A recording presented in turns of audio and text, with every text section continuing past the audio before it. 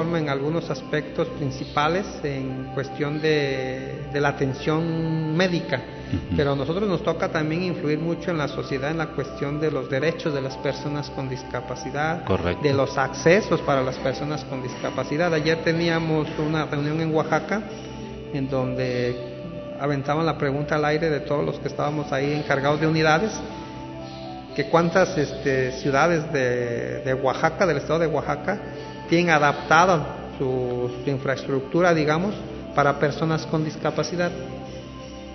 Pues ninguna. Desafortunadamente. O sea, ninguna, ¿no? Porque se ha quedado, no tanto en el olvido a lo mejor, pero sí no se le ha dado la importancia que se tiene para, y no nada más el de las muletas, de silla de ruedas, el que es ciego, por ejemplo, el que tiene un problema de audición. Entonces, hay muchas necesidades en relación a discapacidad y nos toca mucho y a lo mejor en, a partir del mes de octubre iniciamos algunas actividades de sensibilización, de, poder eh, informarle a la gente cómo nos puede ayudar, no ayudarnos a la persona con discapacidad con una moneda, no a la persona dándole limosna, dándole, ahora sí como dicen, no dándole el pescado. Conmiserándose. Sino hay que enseñarlo a pescar, ¿no? Hay que, hay que facilitar las cosas de acuerdo a lo que nosotros tenemos, ¿no? Entonces, este, vamos a iniciar unas actividades, sobre todo aquí en Miahuatlán es importante que la gente sepa que hay mucha gente con discapacidad. Yo creo que inclusive el proyecto, saliendo un poquito aquí del tema de, de Soleil, fue eso, ¿no? Este, hacer conciencia en la gente que existe la gente con discapacidad, que tiene necesidades de acceso, de comunicación, de convivencia, de acercamiento. Y a veces los dejamos así como un poquito olvidados cuando ellos nos, yo creo que como gente que viene superando siempre la adversidad, pues a una gente físicamente y mentalmente bien puede ser una lección de vida, de motivación, de decir, bueno, si yo tengo todo bien, estoy completo y me deprimo por cuestiones mínimas, pues hay que ver en aquella persona que día con día supera eso, ¿no? Ese sería el otro efecto de la labor de la VR. Exactamente, ¿no? Esto está muy interesante, créame que si usted se enterara de toda la, labor, el trabajo, el proyecto que está realizando la unidad básica de rehabilitación, que le llamamos VR, es enorme aquí en Miahuatlán y bien mencionaban que la señal con sentido humano es uno de los participantes de este proyecto que se está realizando para fomentar una cultura de respeto hacia las personas con discapacidad. Yo le quiero elaborar otra otra pregunta, doctor. ¿Cuáles son los los lineamientos de acción ya que tocamos el tema? Este, los lineamientos de acción de la, de la VR, hasta dónde son sus alcances, este, cómo podemos este, puntualizarlo, uno, dos, tres, ¿cuáles serían? Sí, mira, de hecho los lineamientos o las líneas de acción de la unidad básica principalmente se están basadas en tres puntos principales que nos corresponde como institución. Es la prevención, la detección y la atención. Bueno, ¿Qué hacemos en cada línea de acción o qué estamos haciendo en cada línea de acción de la unidad para prevenir la discapacidad? Bueno, para prevenir la discapacidad principalmente estamos enfocados a las pláticas. Y por eso decía yo ahorita que no la unidad básica nada más está encargado de atender a las personas que tienen una discapacidad temporal o permanente. no se limita a eso. No, no, no se limita a eso. O sea, por esto digo, no, no nadie, nadie se debe sentir excluido. Diciendo, pues es que yo ahí si no tengo nada, ¿qué voy? ¿no? Pero dentro de esas, de esas actividades de prevención que nos corresponden como, como área médica, es incluir a los que no tienen discapacidad.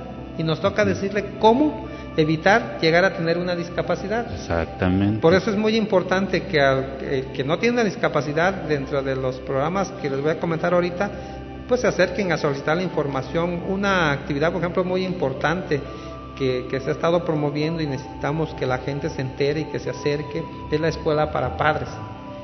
¿Cuántos, ¿Cuántos papás, cuántos jovencitos en la secundaria, cuántas jovencitas en el Cebetis, en el Cobao, en niveles de bachillerato, por ejemplo, eh, tienen esa responsabilidad?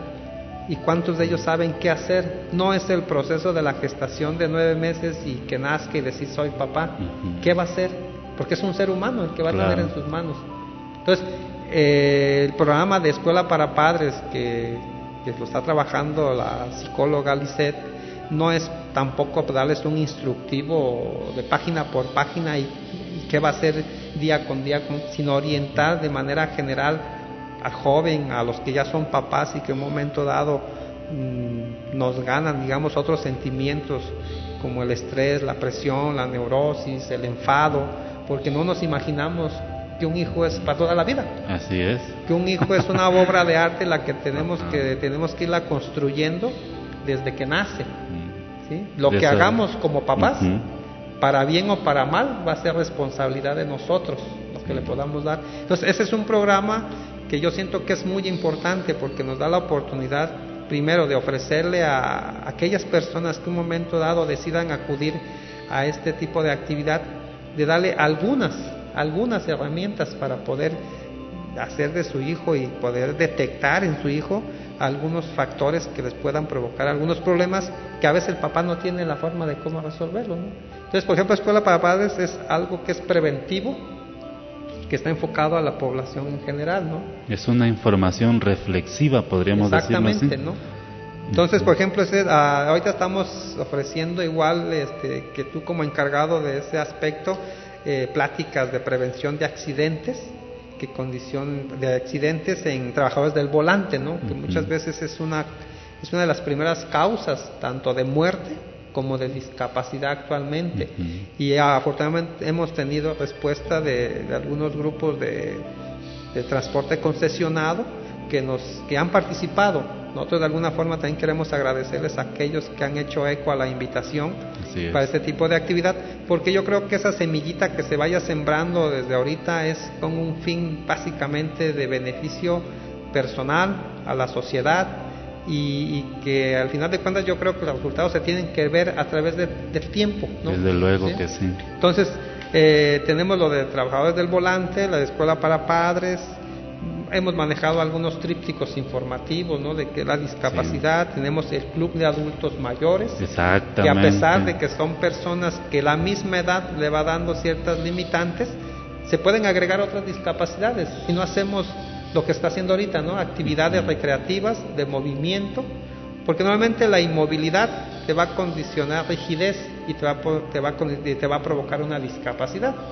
Entonces, eh, aquí estas personas que hemos tenido la dicha de tenerlos ahí con nosotros, que están contribuyendo con su participación para poder promover que sí se pueden hacer muchas cosas todavía en las personas de la tercera edad, yo creo que es una forma preventiva, es otra actividad.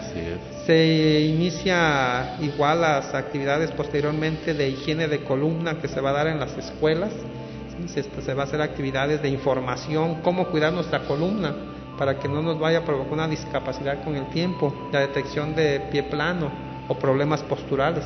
Estos son algunos de los programas que se manejan en la línea de prevención y que va con la intención de eso, de que no haya más discapacidad. Esa es la intención, ¿verdad? Exactamente. La otra acción, digamos, sería la detección y para esto, pues como comentabas tú inclusive ahorita al inicio de, del programa, en detección tenemos pues, la jornada de oftalmología. ¿Cuál es la, función? Ahí tanto hace la función de detección y atención. La intención es que igual toda persona que se considere sana, dentro de una planeación que debemos tener dentro de nuestra salud, que es acudir por lo menos una vez al médico al año.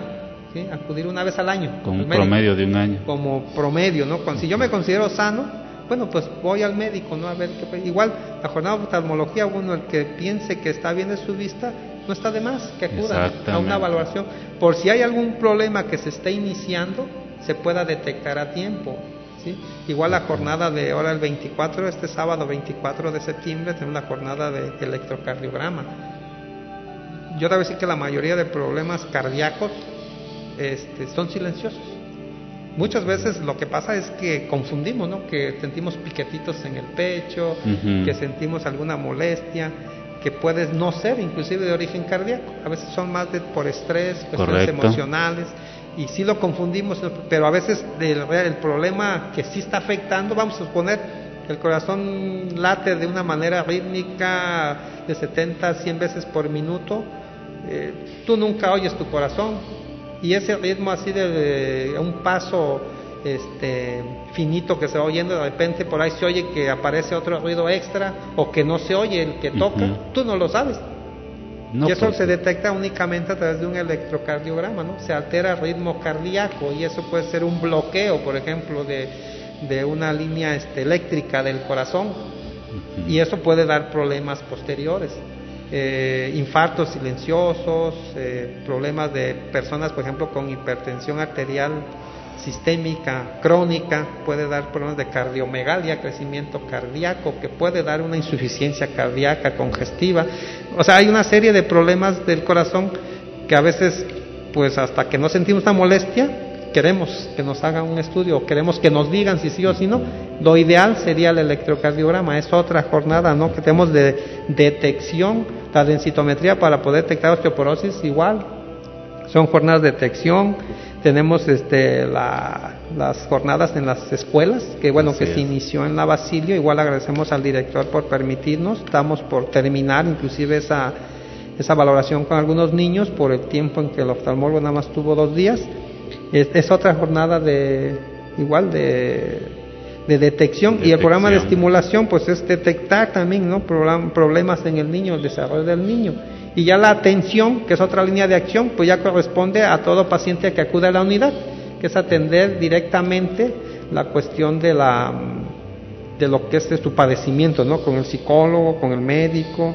Tenemos eh, la participación, por ejemplo, de Coral, de Coral, una asociación civil especialista en problemas auditivos, que tenemos la oportunidad de tenerlos aquí en Miahuatlán y que de alguna forma nos están apoyando de una manera muy importante en asesorar cómo llevar a cabo la atención de los niños que tienen problemas de sordera, niños con hipoacusia que le llamamos, y cómo prevenir, ese, cómo detectarlo en el niño que tiene dos, tres meses. Yo no sé si algunos papás, papás estén seguros, por ejemplo, que su hijo de dos o, tres meses oiga. Exactamente. Entonces, todo este tipo de programas que tenemos en la unidad, sí sería muy importante que la gente se acercara a la unidad a pedir la información. Yo creo que que en este caso el que desconoce el área o pasa y ve que existe ahí un edificio, es importante porque a veces la información puede servirle hasta para ofrecérsela a otra persona, ¿no? Exactamente, sí, es, muy cierto. Hablando de Coral, ellos van a estar con nosotros el día 17 de octubre precisamente para dar información a las personas que tienen alguna inquietud o alguna duda, pueden acudir el día 17 de octubre, que es un día lunes. Lunes, lunes. Aquí sí, ahora que toca este punto, quiero aprovechar y hacer extensiva la invitación ¿no? a todos aquellos padres de familia que tienen un niño, un joven con problemas de audición, eh, que se acerque, que pidan información, porque yo creo que el problema principal que sufre la familia con aquel niño que no oye es la comunicación. ¿Cómo me comunico? Y sí es un problema. Y si yo me logro comunicar como mamá con mi hijo, ¿cómo se comunica él o ella con sus compañeros, con sus amigos? El círculo se reduce mucho por la forma de cómo comunicarme. Entonces es muy importante que todas las personas, ellos, ahora sí, el que vive el problema nada más sabe sus necesidades. Y tenemos la oportunidad que Coral, que es una asociación especialista en este tipo de situaciones, nos está viniendo a apoyar algo muy importante que menciona y quiero aprovecharlo, platicaba yo con Nicole, una doctora de, coral, me decía, estamos equivocados a veces al pensar que cuando papá dice, ya le logro entender a mi hijo que no escucha, que no habla, ya logré entenderle, y pensamos que es un avance, y me decía ella, no, estamos retrocediendo, el asunto es que el niño que padece, que tiene este padecimiento, logre comunicarse con nosotros, con la sociedad, no que mamá le entienda, sino que toda la sociedad logre comunicarse con él y él con la sociedad. Sí, exactamente, y eso yo creo que tenemos que aprovechar gente profesional, ¿no? Por eso te decía yo ahorita que no lo hacemos nada más nosotros, lo hacemos todos. Tenemos el apoyo de, pues, de Fundación La Luz con la cuestión del oftalmólogo, ahorita con Coral, eh, viene un internista a hacer el electrocardiograma, doctores especialistas para densitometría. Es un equipo de trabajo ¿no? que, se está, que se están acercando de algunos servicios a la gente para prevenir y en otros casos para atender ¿no? los problemas. es muy importante que usted que nos está escuchando ahí en su casita entienda